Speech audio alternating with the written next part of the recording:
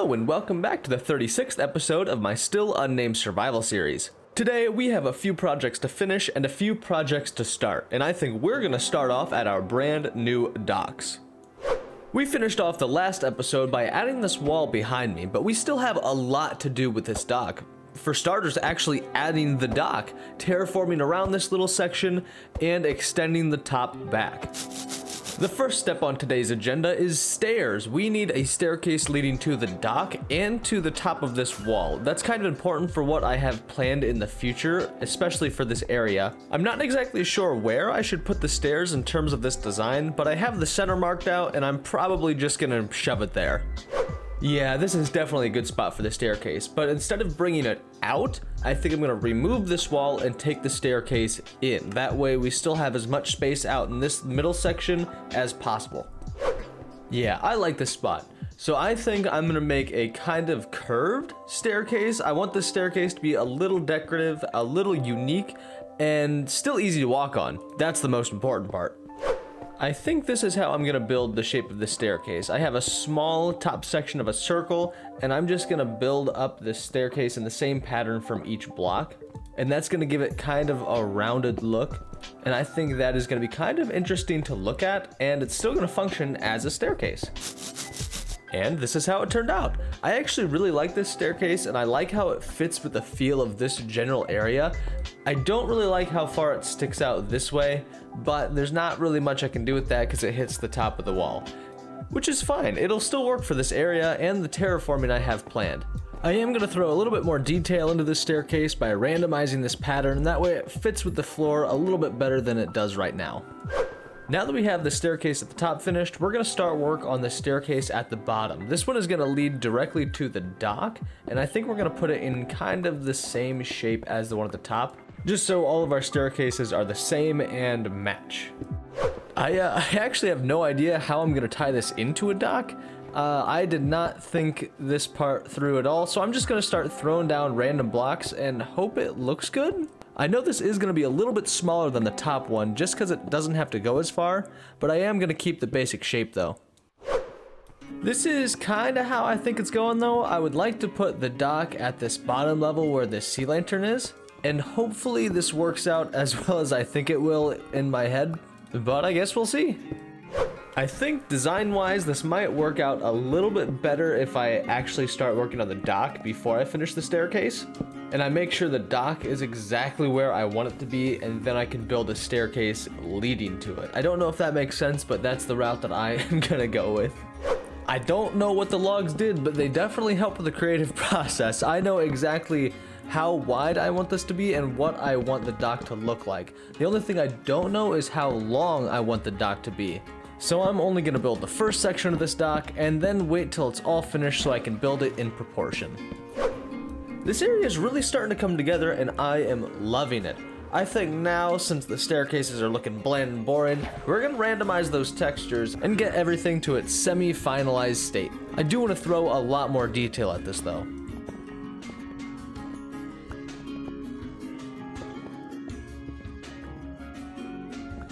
Yeah, I like this. This texture looks really good. I love how it matches the floor too, but I think that I'm gonna add a little bit of a decorative bit right here. I think that I'm gonna put a little archway that matches the curvature of these stairs. I think that's gonna make this area look a little bit more finished, a little bit more unique, and a little bit more decorative. Honestly, I'm not entirely sure how I feel about that. I do like archways and I like how this sits here, but I think it's gonna look a little bit awkward once it's all said and done with the land. But I think we're ready to move on. So now that we have this part of the dock completely finished, I think we're gonna move on to the actual dock and build that out to full length. So I have this dock marked out to where I think I'll like it, but we did run into a little bit of a snag. It does reach that sand island out there, so we're probably gonna have to get rid of that, but I don't really wanna think about that right now. I just wanna finish this little dock area, get it nice and neat looking, and then I'll think about terraforming the water area, but I don't think we're gonna get to that today. So I had an idea about what I wanted this floor to look like and the thought process behind it is this is supposed to be a fairly well maintained dock. So all the logs and all the wood planks are going to be fairly new and replaced very frequently. So unlike our bridges, they're not going to have any holes in them. So we're only going to be using slabs and trap doors of different wood types, no campfires. I'm pretty sure if you guys have been watching this series for a little bit, you know I love my fence gates archways. This is honestly probably a staple in my building style, so I'm gonna throw these up as the handrail for this dock. I decided that I wanted to throw the handrail up here as well. I do quite like the way this looks, but it does look a little awkward with the slabs and the floating wall. So I might have to do something a little different with this in the future, but for now, I am gonna call this done. So now I think we're gonna go ahead and start extending that top platform. So the idea for this area up here is to kind of make it match the bottom side in size only, not shape. For here, we're gonna go with the semicircle shape and extend it backwards, and then we're gonna connect it with the existing land as we bring the dirt up to it. On this side, however, it's gonna be kind of different because this is gonna lead into a slight cliff face. Once we start terraforming, I would like it to kind of blend seamlessly with dirt and the stone bricks mixing together kind of in a randomized texture, kind of like people are dragging dirt onto the stone floor, and I think that's gonna look pretty interesting. I actually really like how this is looking. I love the shape, I'm loving the texture. I do think that I'm gonna put a second railing up here just to match the first layer, but for now, I think that we're gonna take a break from the dock and the terraforming and do something completely different. We have done a lot already today, but there's still a lot that I would like to do. I would like to make this a little bit more detailed than it is, but I don't think we're gonna get to that today. I think what's next on the agenda is getting rid of this building. It's been here pretty much since the beginning of this world, and it's served its purpose. I have never actually really liked that building at all, but after we remove that building, we can move on to the terraforming, which is going to be the most important part of making this area look beautiful.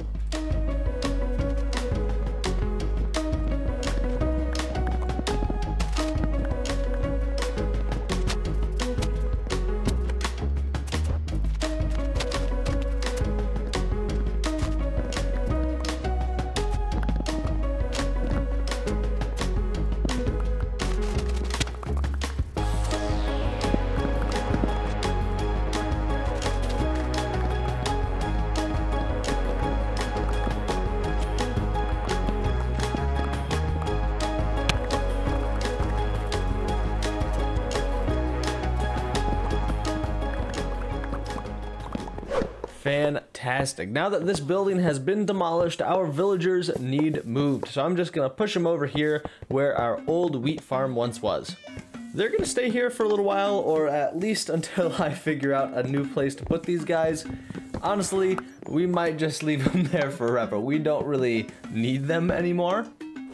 I have moved my villagers, they are now completely out of the way, so I'm gonna start terraforming up this little section and forget that there was ever a building here. This will be nothing more than a nightmarish memory and a ghost of my past. I, I, uh, I really didn't like this building at all. Well, my villagers are out in the open, and it's kind of okay if they die. We've got our villager breeder across the lake, and we really don't need them anymore, but I would like to keep them alive in all honesty. But now that this hole is covered up, we can start on the terraforming of the area around our dock. So the idea that I'm trying to portray with this section of the dock is like it was carved out of stone, like carved out of the side of a mountain. I want it to seem like this was chiseled out of the mountain and not just placed here.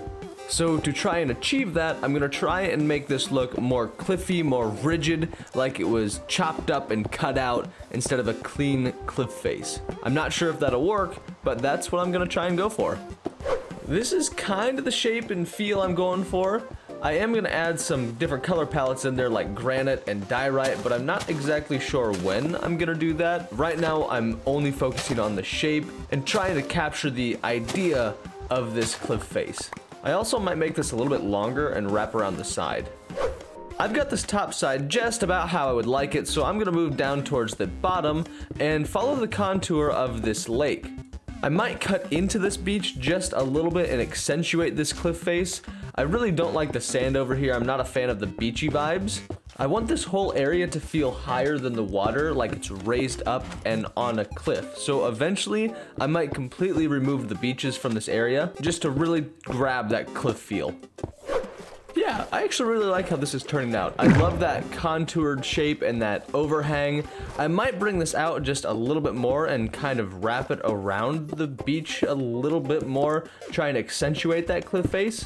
That's something we can do a little bit later when we add in the dirt, but for now, let's move on. This side is actually a little different than all the other ones. This is pretty even with the land, so I'm gonna use dirt instead of stone. The idea that I think I'm gonna go with is the eroded side. Like, this has been worn down, used the most, and just over time, the dirt from the top has slid down and is covering what was once a cliff face. And I think I'm gonna achieve this by throwing a little bit more dirt on the existing land. This is gonna shallow out those curves, those edges, and hopefully make it look a little bit cleaner. We are really trucking along here. All sides of this dock have been cliffified, so now it's time to move on to the back side of the dock and meet up the existing terrain to the top of it. I think I would like the land behind the dock to be kind of a shallow hill, more of a gentle slope, slowly meeting up to the top of the dock. I think I'm gonna have to move these chests. I really don't want to, but I think I'm gonna have to. There's a lot of logs in here. We need the space for terraforming, I'm gonna have to. But this is the spot that we're gonna eventually terraform. All of this is gonna be a fairly small sized hill leading down to where the house once was. This backside is gonna be a little bit tricky too, because it has to reach the top of that. Oh, I've gotta move these two. Dang it. Either way, it's gonna slope into the existing terrain and hopefully match up with the paths and the bricks pretty well. I think I'm also gonna try and extend our existing paths into this area sometime today make it meet up with this side of the sign and wrap around and then maybe lead up to the top of the dock. I kind of like that idea. But before I get started on any of that, I really need to move these chests. They are definitely right where I need to build. So I think I'm gonna move these chests somewhere completely out of the way. I don't imagine extending very far past this anytime soon, so I think right here is probably good. I don't imagine I'll be building down here for a long time. So I'm gonna place a few chests down and start moving all of these logs. Now that our log reserves have been entirely moved completely out of the way, I think it's time that we make this area look as beautiful as we can. This is how far down I moved the logs. This is probably to be our new tree growing area as well, just to keep everything out of the way. I think that I'm actually going to start terraforming over by where I keep my chests on the left side of the dock. I would really like to get rid of the sand as soon as possible, and I think starting here is also really going to help us when we get to terraform around the side. That's going to be a pretty tricky area, and having as many guides to go off of to make it look good is going to be better.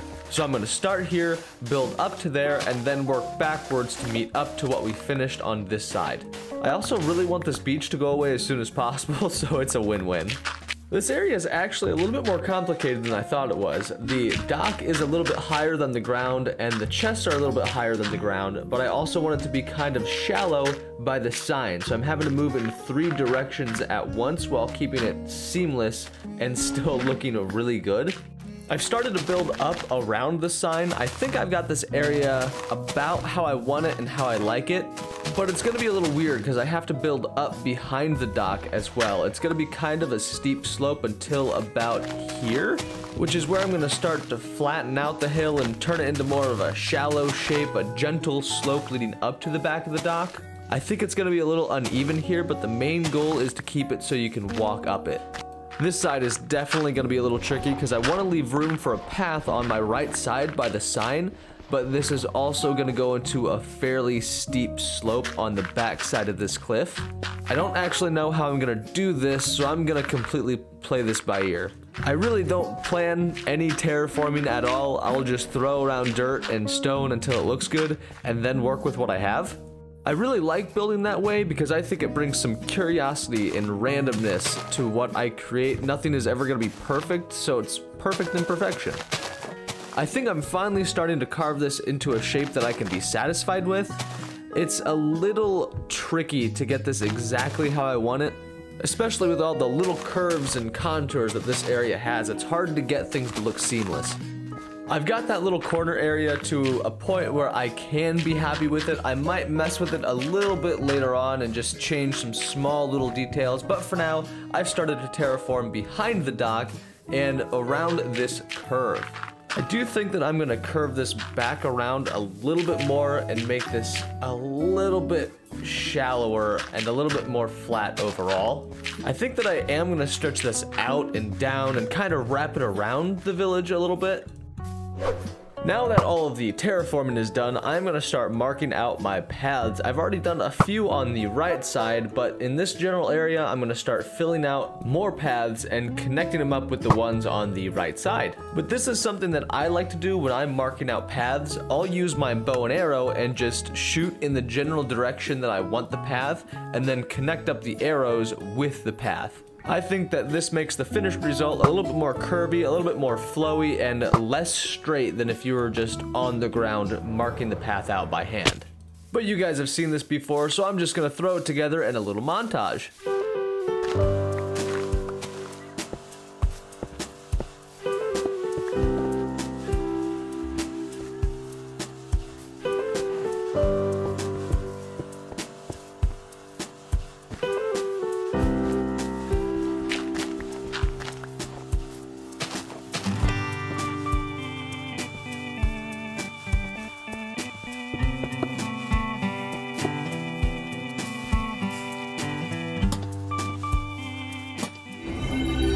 Have been jumping around a lot today, doing a lot today, and honestly, it doesn't seem like we did a lot today. So I think that it would be a good idea if we walk around for a little bit and look at everything that's changed and everything that we've accomplished today. So this is the actual dock. Everything here was made today. I love these little archways here. And we have our cliff face in the back that was also made today. I honestly really love how that little cliff area turned out. It's got that neat little overhang. It's a little bit different than this side, which is not a cliff face at all and more like a small hill. I'm not actually sure what the end result of this side is gonna look like. I'm not sure what I'm gonna do with it. And up here is the stone portion of the dock. It's pretty simple, but over on this side we have this cliff face. I actually really adore how this turned out. I love the way that looks. Honestly, I just love the way this entire dock feels and looks, but this staircase in the center of it goes all the way up to the area that we terraformed today. I do have some plans for this general area right here, some buildings and some ideas that I'm going to toy around with. I don't really want to remove any of this podzol or ground just yet because it might not be what this finished area looks like. But now we're gonna move on to these paths here. We built this entire path today, going from here all the way up along this coastline and leading up to the area where we have our bridges. I might do some stuff with the redstone trash cans and the bench beds later on, but we're not gonna touch that in today's episode. And of course, we're on an old path now that leads up to the common area that was in front of this house. Which as you can see, we removed that house today. We also made this other little path that leads up to where we started up by the podzol, and these two paths, one going up to the dock, and the other wrapping around the sign. I'm not gonna lie, making these paths was definitely a little difficult in this area.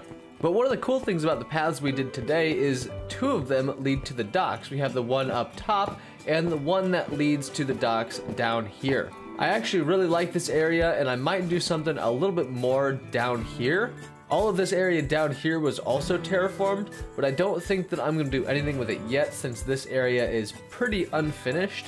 And of course, the paths we made here connect to the existing paths. The old one stopped about right here by the sign, and now it just flows into a few more.